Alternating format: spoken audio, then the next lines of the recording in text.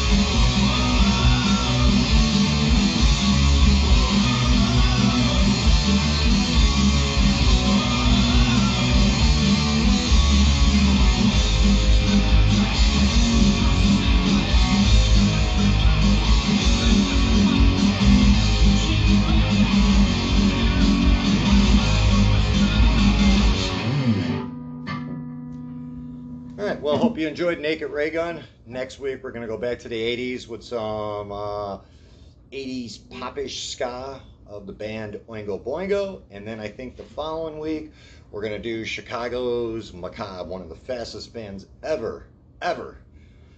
And I know those guys too. So we'll see you next Sunday.